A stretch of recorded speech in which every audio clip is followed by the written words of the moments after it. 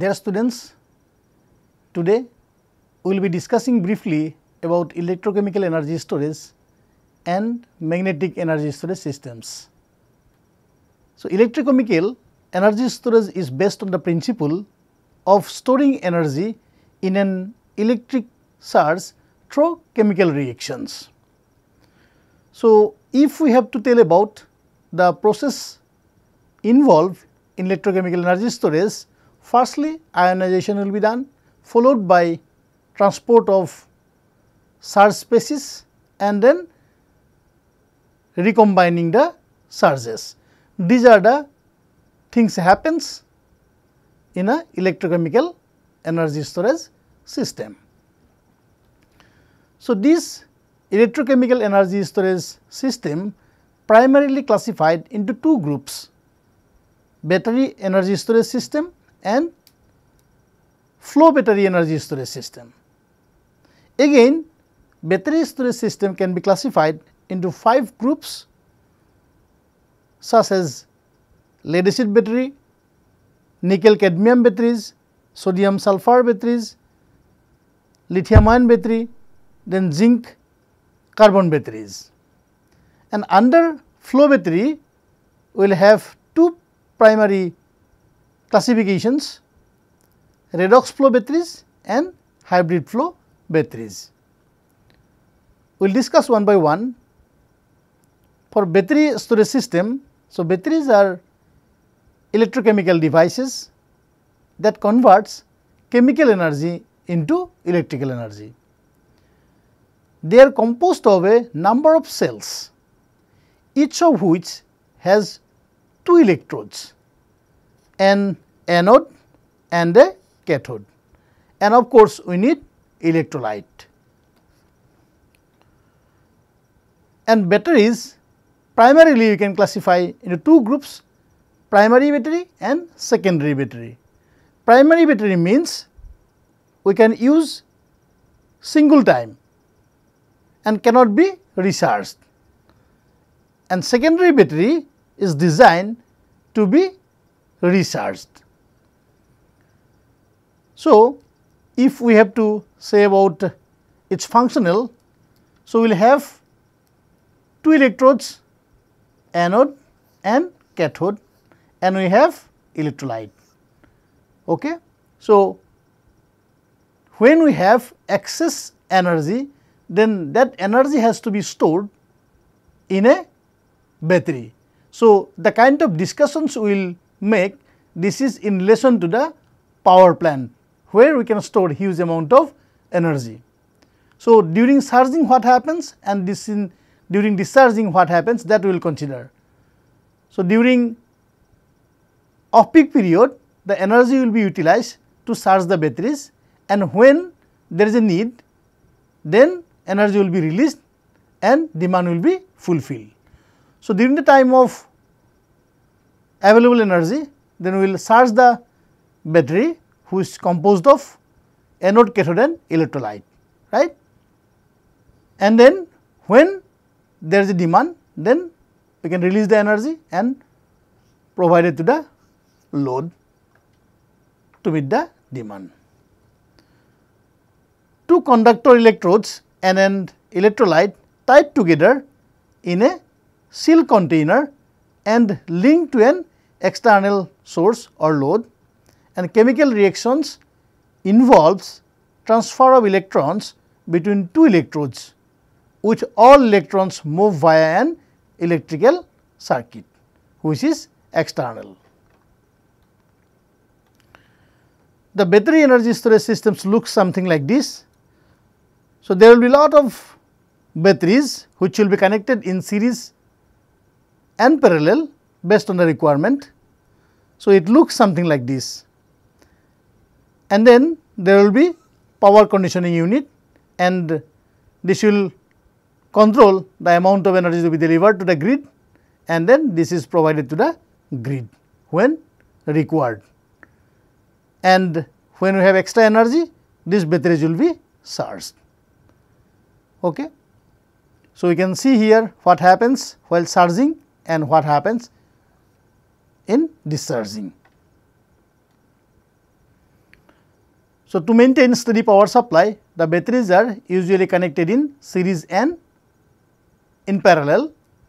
The battery energy storage systems are often made up of batteries control as well as power conditioning system,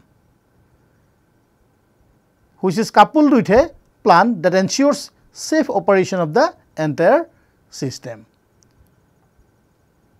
Overall, here in this slide, it is shown that how batteries are connected and how and where the components are installed to provide the energy to the grid.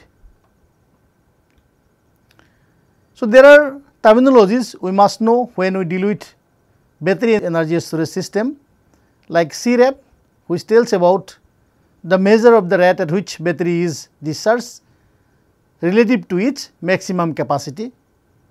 E ERAT which describes the discharge power, then energy density, power density, then efficiency, what is Coulombic efficiency, what is battery efficiency and what is overall efficiency and what is cycle life. So, how many times we can use the same battery that means charging and discharging.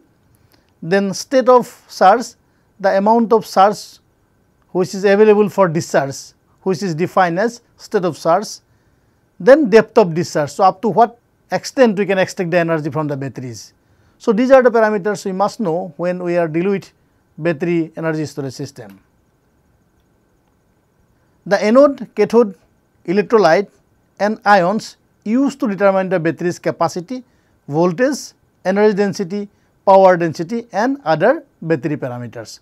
So, these are very very important when we are evaluating the performance of a battery storage system. In case of lead acid battery, when the battery is charged, the lead sulphate forms on the plates and sulfuric acid concentration in the electrolyte solution decreases. And during discharge, lead sulphate is converted back into lead and sulfuric acid, resulting electrons to create a flow of electrical current. So, if we see it looks something like this. So, this is the one of the electrodes and other electrodes is PbO2 and this is like a spongy when lead is act as electrode and during discharging what happens and this during charging what happens which is shown in the figure. So, we must know the reactions involved in charging and discharging. So, this is like discharging and this is for charging. So, PbO2 converted to PbSO4 and H2O and then in the charging reverse will happen. What are the material used in this lead acid batteries? In positive electrode normally lead peroxide or PbO2 use and in negative electrode, spongy lead which is Pb is used and as a electrolyte diluted sulfuric acid is used. And what are the advantages of using this lead acid batteries? Because in most of the cases lead acid batteries are used in renewable energy projects. It has low cost and good performance at low and high temperatures and low maintenance and high specific power, but it is bulky. So, we can have lithium ion batteries for storage. So, material used for positive electrode is lithium metal oxide and for negative electrode graphite carbon which is also known as graphitic carbon which is used and as electrolyte lithium salt is used. So, configuration during charging and discharging what happens it is shown in the figure. So, first figure is for charging and second figure is for discharging. So, when we have extra energy we use it for charging and when we have demand then we release the energy for meeting the demand. So, during charging cycle this lithium cation migrates to the carbon anode via electrolyte and they combine with external electrons okay, and are deposited as lithium atoms between the carbon layers. And reverse things happens during the discharge cycle. So, it will be somewhat like this, it will move to other side.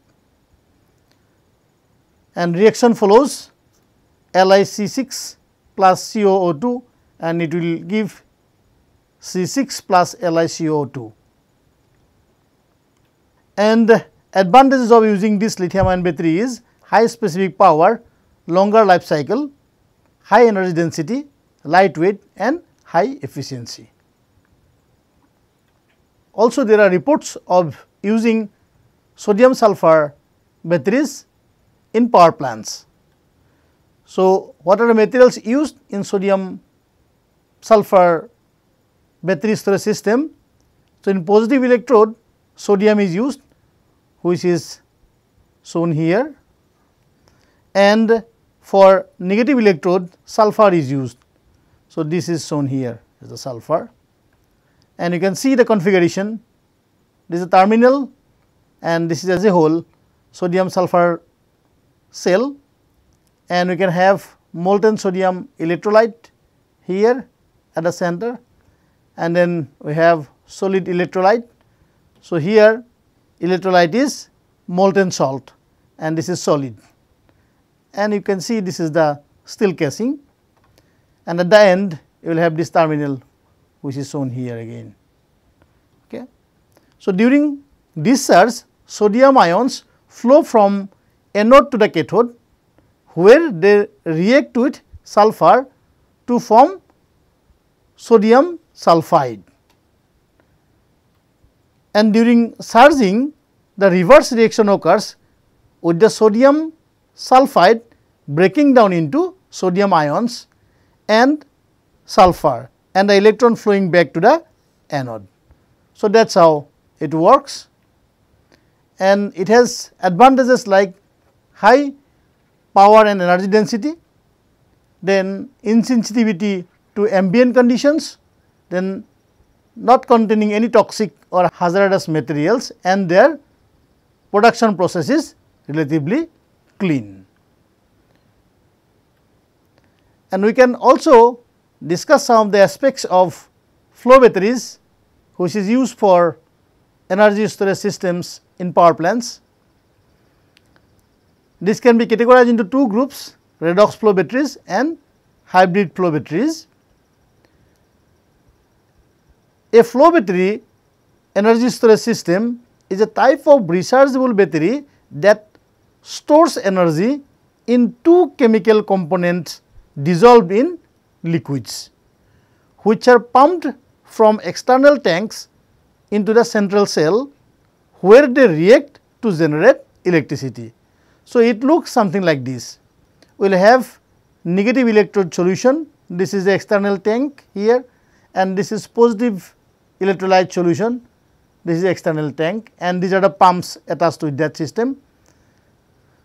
So, you can see the pumping is done here and then all the electrochemical reaction will takes place here. And then we will have control and power conditioning system. And finally, we can have electricity to the grid during the peak hours.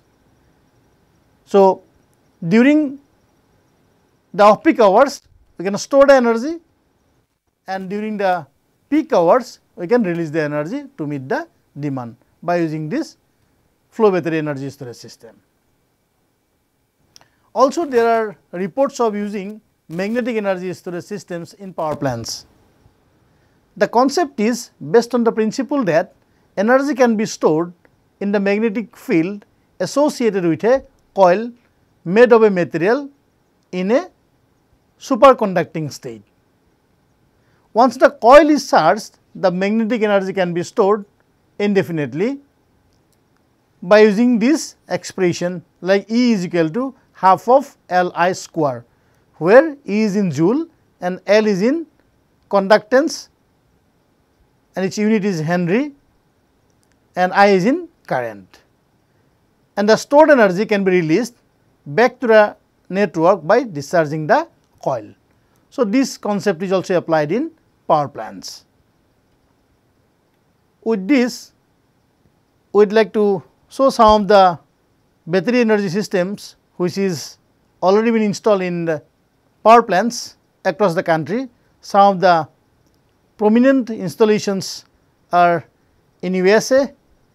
Here its capacity is 400 megawatt or 1600 megawatt hour and one more unit which is in Florida. So, its capacity is 409 megawatt or 900 megawatt hour. So, here 132 energy storage containers spread across 40 acres parcel of land equivalent to the size of about uh, 30 football fields are there and it is a big storage system. And in China they have used redox flow batteries of capacity is about 200 megawatt. In Japan they have used sodium sulfur batteries of capacity 50 megawatt. In UAE, they have installed about 108 megawatt capacity plant. In Australia, it is about 300 megawatt plant and in again in China, they have wind solar storage hybrid projects. They have used lithium ion batteries of capacity 320 megawatt power and it is paired with 1700 megawatt wind capacity and 300 megawatt solar capacity. So, these plants what we have discussed briefly about uh, the battery storage systems already in, in the practice. So, these technologies may be utilized in many of the power plants for storage of energy or especially in the renewable energy projects. We can now conclude what we have discussed today. We have discussed some of the concepts of energy storage in relation to the electrochemical energy storage and magnetic energy storage system. So, it is felt that there are ample opportunities and scopes of development of such kind of technologies as far as power plant energy storage is concerned. So, thank you very much for watching this video. Hope you have received an idea on this topic. Thank you very much.